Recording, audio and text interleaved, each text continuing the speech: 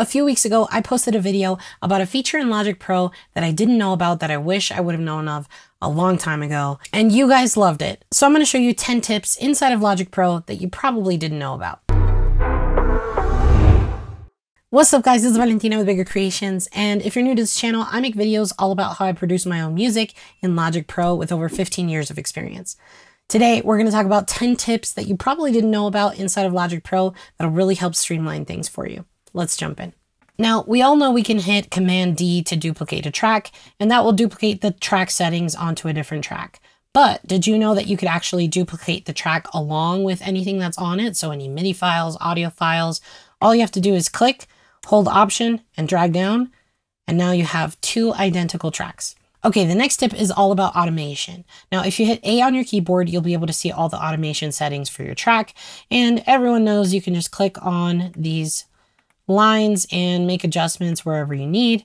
But sometimes you want to do something a little bit smoother without having to do the touch option.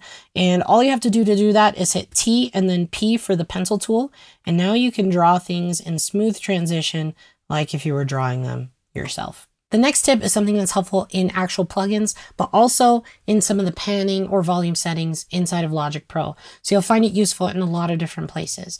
You know, you pan something to the right, you pan something to the left. So if you ever want to just like completely set things back to zero, a quick way to do that is to hit Option and hold that while you click on what you want to adjust. And it will reset those parameters back to their original settings. The next tip is when you're looking at MIDI in the piano roll. Let's say you played all these notes and they are all in a different velocity. Some are slow in velocity, some are high in velocity. In order to actually change them all to be the same exact velocity, select all of your MIDI notes by hitting Command A and then hold Option and move this knob. It will globally change all of those MIDI notes to be the same exact velocity. This next tip is clutch when you're trying to figure out how to arrange things. Sometimes you just want to say, oh, you know what? I wonder if maybe if just get rid of it and see what it would sound like to go from this part of the song to this part.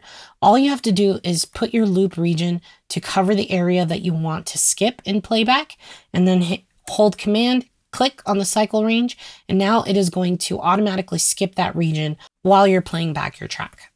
You can always undo it by holding command and clicking in on the range. Have you ever had a bunch of different plugins opened up on your screen, but then you need to make a minor adjustment and you don't want to close every single screen to just make that adjustment and then have to manually reopen them all? I got you. Just hit V on your keyboard.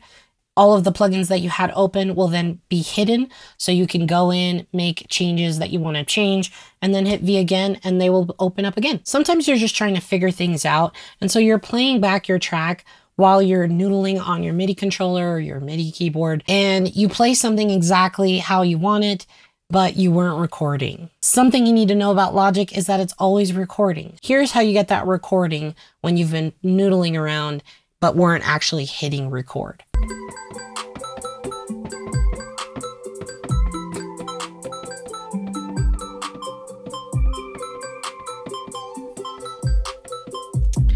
So let's say I really like the tail end of that, but shoot, I wasn't recording.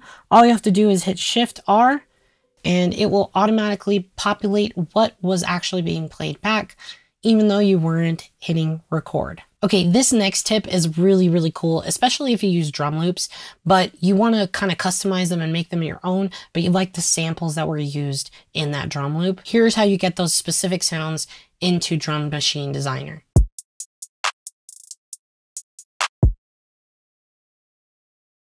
So I like this drum loop. I'm going to bring it in and I'm going to do drum machine designer. And what it does is it automatically detects all of the transients in that drum loop and puts them and maps them onto your drum machine. Okay, this next tip is actually really cool and something that I use really, really often, especially when it comes to my delay. So did you know that you can actually bus something that's on a bus to another bus? I know, sounds confusing. Let me show you what I mean. So in this scenario, I've got my vocals in here and I have delay being sent to a bus, bus number 10.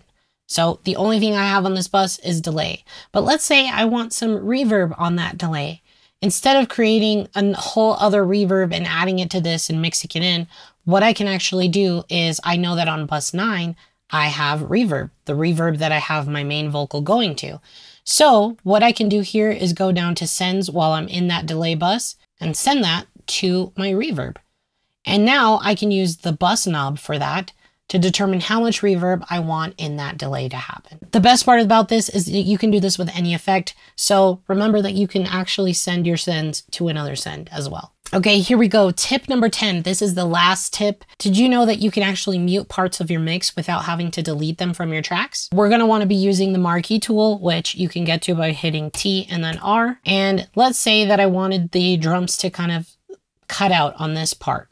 So I'm going to mark the area that I want the drums to stop, and then I'm going to hit Control M. Now that MIDI data is still there, but it's muted, and I didn't have to get rid of it. So there you have it, guys. Those are 10 hidden tips that you probably didn't know about inside of Logic Pro. If you've been watching my channel for a while, you know that my voice does not sound like this all the time. So next video, hopefully things will be back in motion and you'll be seeing more production. But uh, in the meantime, hope you liked this video. If you did, make sure to hit that thumbs up. Make sure you're subscribed so you don't miss future videos. And as always, if you have any questions or want to see more content, check me out on Spotify, Instagram, TikTok. Keep making beats.